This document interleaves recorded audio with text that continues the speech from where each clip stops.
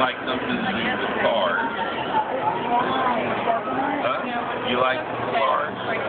You like trucks too?